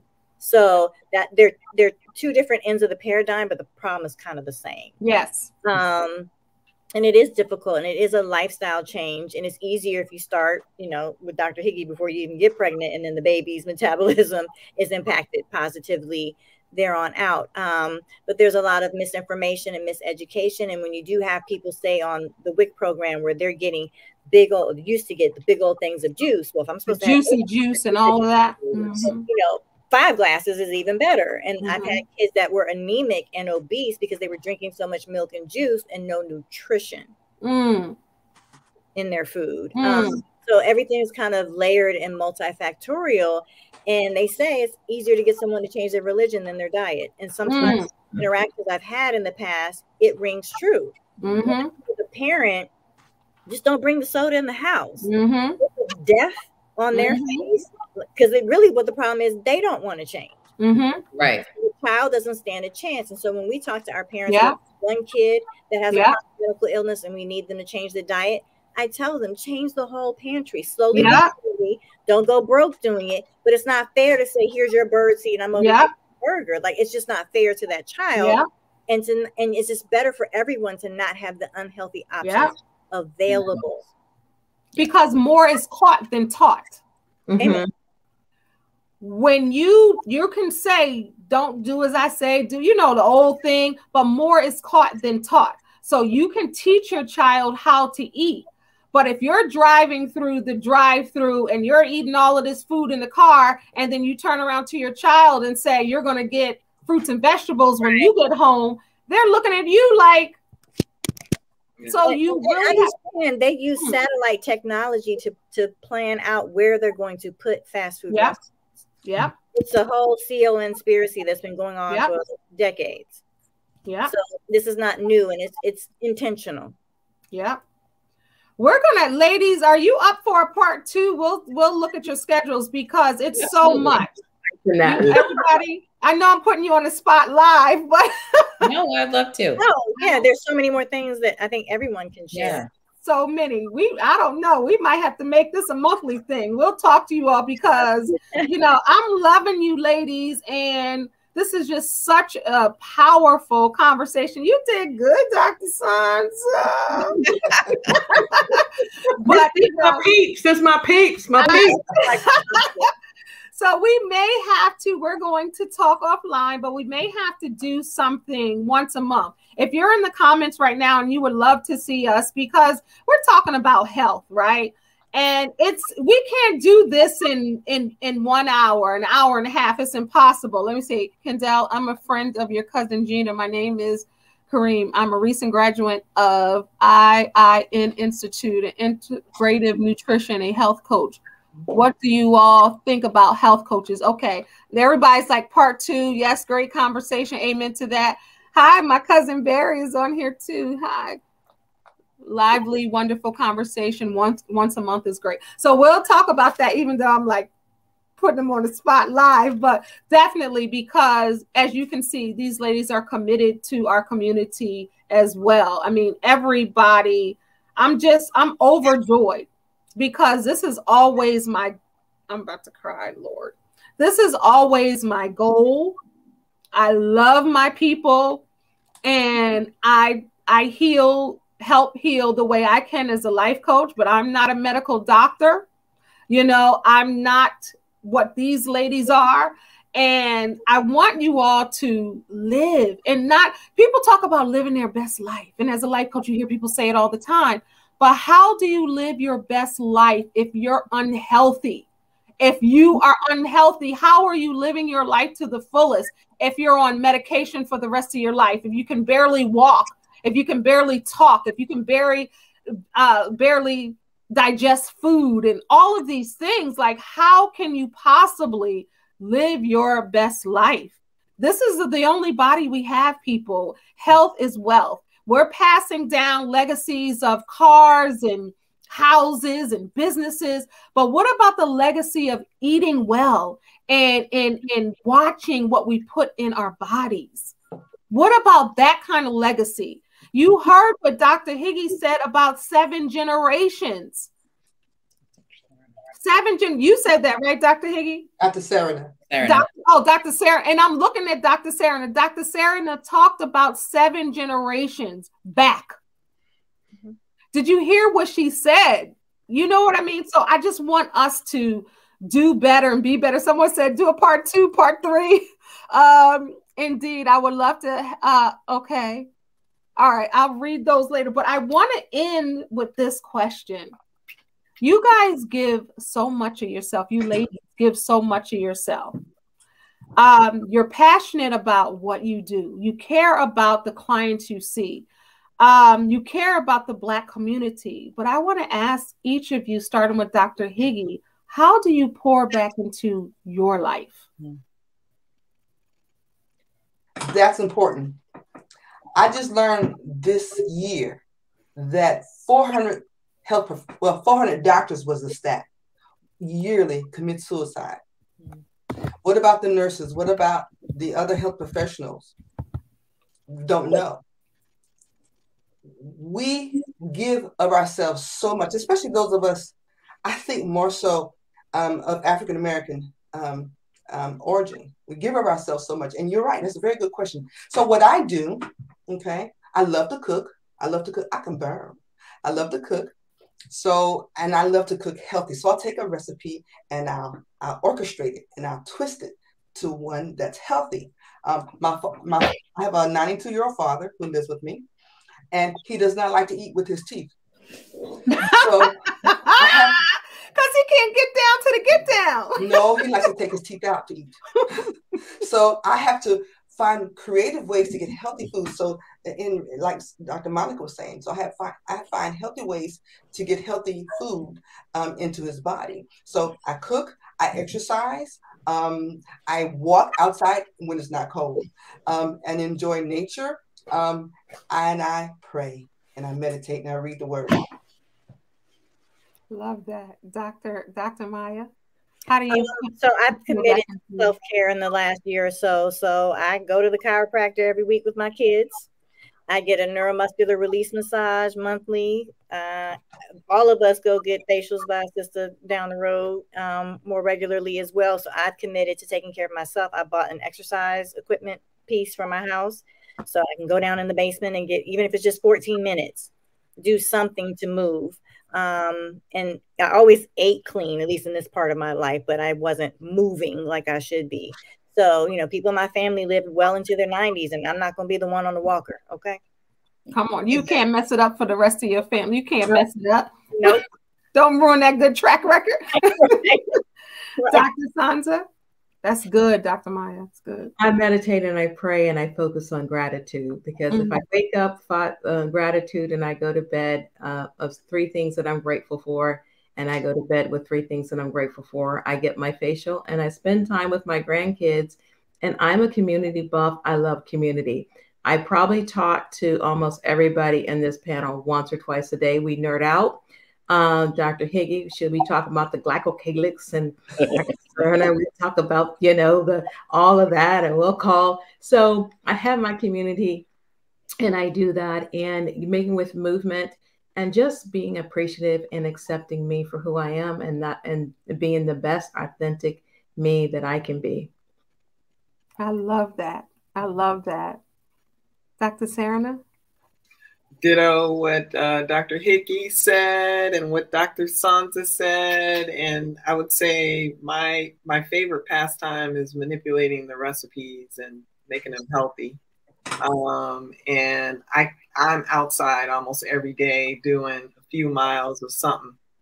Uh, so yeah, and uh, what what um, Dr. Sonza said about the gratitude practice, I do that one also, journaling the three um, things that I'm grateful for. So, and great. I mm-hmm. love that. Dr. Monica? Um, I'd say probably my biggest thing is working out. I, mm-hmm. I love to work out. I do. It makes me happy. And my Peloton. Oh, I love Peloton.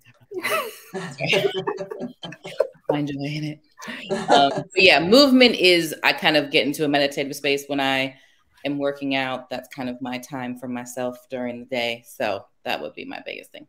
Yeah, that's yeah. good. That's that's good. Y'all Peloton people or something else. Y'all love those things. My my daughter, my 23 year old daughter, was like, "Ma, I think I'm, I want a Peloton." I was like, "Okay." Dr. Naeema. I would 100% agree with you, Kendell. The Peloton people, there's a whole cult. Yes, it really has been recruiting for a while now. Like, no joke. I um Peloton, if you're watching, she needs a sponsor. Right, sponsorship. M Center. Yes, yes. I, I might I, send this part to them. yes yes, please do, please do.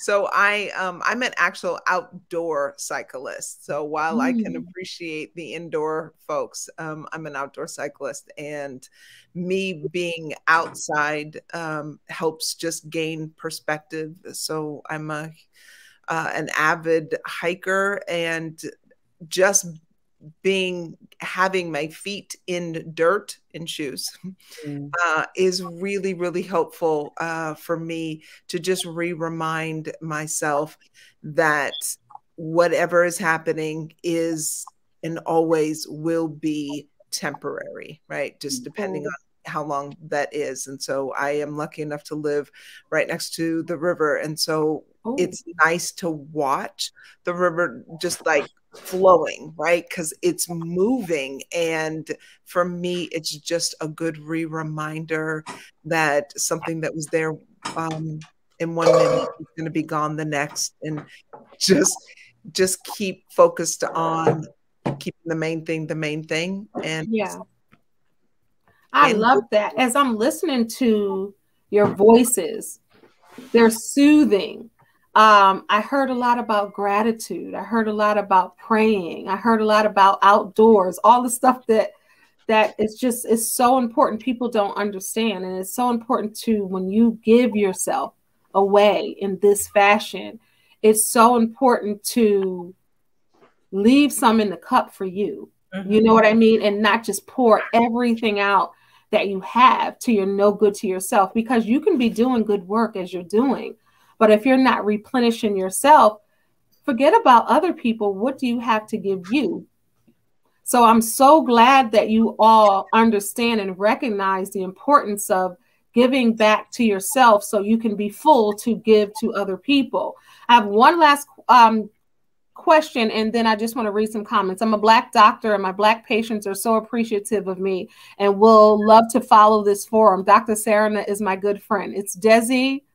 Ah. yes, he- yes. And then Pam says, Dr. Serena is my cousin, and she truly practices what she preaches. Uh, and, and it speaks, I should say. So you got your fan clubs. Tai Taivoya, she said, Wow, this is what me and my doctor, I work in healthcare, just had this conversation. It's so hard to pour back into yourself when you're caring for 14 to 20 patients a day. It is, but it's a it's you have to do it. This is a requirement. You have to be able to pour back into yourself as you listen to these these doctors in some type of way. It doesn't have to look the same, but you have to be able to do that. Last question, and then we're out. Um, just a takeaway. If everyone could quickly give a takeaway and then give your information because everybody's already like i'm calling them i wrote down all the the names. My mom's like you got to do it again. Everybody's like do it again. Ask them if they know any female um, gps in uh, maryland.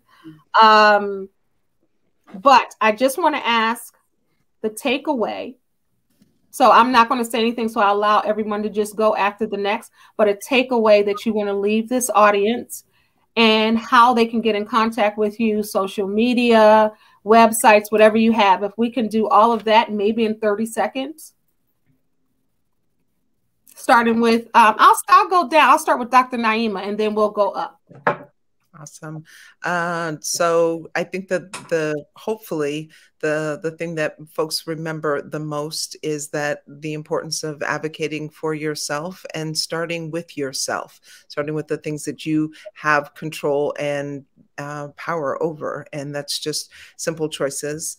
And um, Elevate Family Chiropractic on IG and both uh, Facebook is the best way to reach us. Awesome.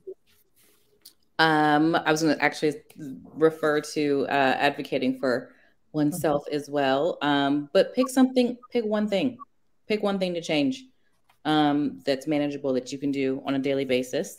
Uh, the M Center for Pediatric Wellness I don't even know what our handle is. I think it's M Center. It's just the M Center. The M Center. The M Center on Instagram. The M Center on Facebook. Instagram. Yep. There you go. Partnership. Partnership. I just did a video on my YouTube channel talking about that. Like you can't, you can't reach your fullest potential alone. Mm-hmm. And I did a video on sisterhood. And Dr. Sonza talked about sisterhood and being able, all of you, you know, speaking. So I love this. I love your community. I, I, I can I be part of your community even if I'm not a doctor? Come on, girl. Okay. Come on, girl. I want to be on some group chats. All right, Dr. Sarah. Um, so I think my takeaway would be um, that realize that the mental, emotional, spiritual impacts all of your body systems. So if you don't have that right, your body has to be right. Mm-hmm. And my website is Treat Yourself to Health. And Instagram, Treat Yourself to Health. Facebook, Treat Yourself to Health. Love that. Thank you. All right. Um, Son, I'm Dr. Sonza Curtis, and I uh, the thing is is healing yourself three dimensional mind, body, and spirit. And takeaway is don't put nothing on you no more than you can bear. Um, reach out to somebody to your left or your right, and if you need help, um, doesn't have to be medical, but find that community. You can find me on Dr. Sonza, um, doc, uh, Instagram, Dr. Sonza uh, Curtis and uh, my website is www.3dwellness.com. We also do 15 minute discovery calls. Um, so I'd like to put that out there. Thank you for having us. Dr. Maia. Okay. Um, so uh, our other, I forgot our other hand, the mwellnesscenter.com is our website, the mwellnesscenter.com. And thank you for reminding us, we do do 30 minute complimentary consults to see if a good fit for you and your family, we do do telehealth. So you don't have to be in Georgia necessarily for us to talk with you. Um, what I would say is also going along the lines of advocating for yourself. If you're not comfortable with your healthcare provider, you don't feel like you're being heard or seen, find another one and do your best to try and find one that looks like you if you can. Okay, remember the statistics we talked about the increased risk of, you know, morbidity and mortality just by seeing a doctor that doesn't look like you we are we are here we exist if you can't come see us i know someone asked for a provider in maryland dr Sonza knows somebody i'm sure yeah dr vanessa allen um, boom yeah. there you go and that's how i found dr Sonza. someone mentioned i met her mm-hmm. colleague at a conference and you know oh i see you're in alpharetta georgia and i was like oh yeah mm. you googled the, the practice and i was like mm, i'm gonna go see her I'm going to the sister. I walked in just that. That's why I picked you, girl. All right, now make fix me, make this work. I love it. Find somebody that looks like you. I love it. Love you, Dr. Maia. that sounds that sounds like something I would have said mm-hmm. because it's so important. And and I mean, why not say it? Yeah. You know, because that is important. People don't understand. We heard it. Yeah, I don't have to code switch. I can go listen. Let me tell you what's going on with me today. What was this, this administration is hard. Right, and she'd be like, "You in danger, girl." You know, she gonna tell you the way it is. She's not gonna hold anything back. There are no walls, no barriers. I don't have to button up. You know, and I can get yeah. the that I need, and it's going to be filtered through somebody who's going to do the extra research about what specifically impacts me as a woman and as yeah. a black woman. And there are differences. I went to Howard for medical school, undergrad and medical school, and when they taught us about hypertension or high blood pressure, it was the first line of treatment is this. If they're black, it's this. If they're diabetic, it's this. I don't know if they teach that at other schools at PWI. Ooh. I don't know if they teach it that way, but they made sure we knew that. Mm-hmm. Dr. Maia, before I get to you, Dr. Higgy, we're going to round it out because this will kind of bridge you two. Um, my 23, I have um, two daughters. My youngest daughter is 23. And I had a black OBGYN, and I still do different one, right? And I was in labor. My mom is listening; she can attest to this. And she was she was in there, and I had a black woman. And the way that she yelled at me, she was like, "Your baby is in danger, and you need to push." now I don't know how I would be if that was a white woman yelling at me like that during that time. But she yelled at me. She looked in my face. She said, "Listen." Your, your her shoulders are stuck. Your baby is in danger, and I'm gonna need you to push. I was like, I am pushing. She's like, no, physically push. In my mind, honey, I was pushing. but when you just said you're in danger, and that's so important because I got it, you know. And we just have a way with one another that's so valuable. People underestimate that value. It's so valuable. There was a whole skit on SNL, I think last weekend, where all they said was "girl, girl, oh. girl," and they was like, had a whole conversation, and all they said was "girl," and everybody knew what the other person meant. right. right, it's so true, Dr. Higgy. It's true. I'm going to end with the word. We can go to Ephesians, the fourth chapter, the 29th, and to the third, 32nd, but not the full thing. For do not let any unwholesome talk come out of your mouths, but only what is helpful for building others up mm. according to their needs, that it may benefit those who listen. Get rid of all bitterness, rage, mm. anger, brawling, and slander, along with every form of malice. Here it is. This is it. This is my word. Be kind mm. And compassionate to one another. Yeah. Forgiving, that's my other word, forgiveness. Yeah. Forgiving each other just as in Christ God forgave you. You can find me. Um, um, I, am working on my website. Yeah, help me out. Help me out. But um, my office number is 713 571 CARE 2273. I do virtual care as well in Houston. Um, my office email is twhs380 at sbcglobal.net. You can follow me on Facebook. I'm just Dr. Higgy. Um, on Instagram, I'm just Dr. Higgy. I don't know about the Twitter thing, but um, there you go. You don't tweet. She said you don't tweet. be, kind. uh, be kind. No, no. Be kind. Be kind. Say no ill will words. No ill will. Yeah. Be okay. kind. We're gonna have to teach you how to tweet. We're gonna get that website together, honey. We're sisterhood. We're conglomerate. We're gonna make sure you're up and running. I, I, was hoping that Dr. Monica came back. I'm not sure.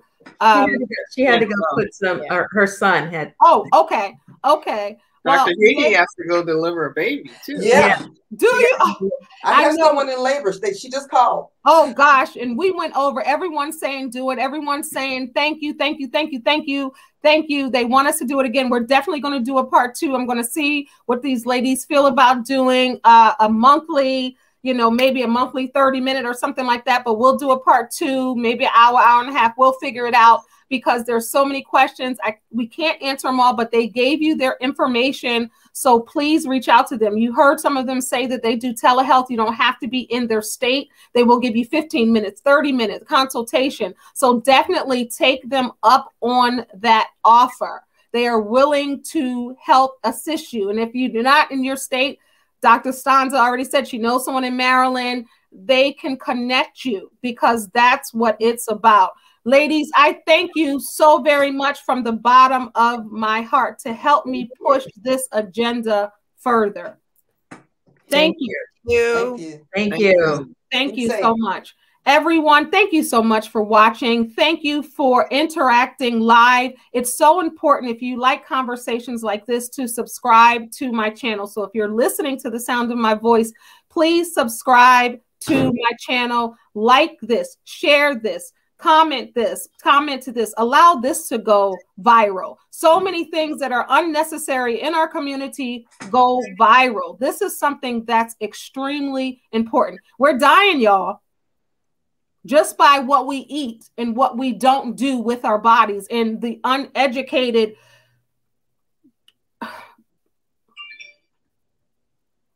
just being ill-informed and uneducated with certain things. We already have food deserts.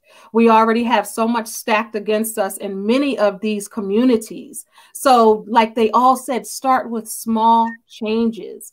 And remember that, yeah, money is great. We need money, but our health is our wealth. Thank you, everyone, for tuning in to Kendell Live. This is the panel series. This is the doctor panel right here. I'm just so humble and grateful uh, for this show. Thank you, everybody, for watching. Remember, you are a star. Don't allow anyone to dim your shine. Until next time, God bless. Peace.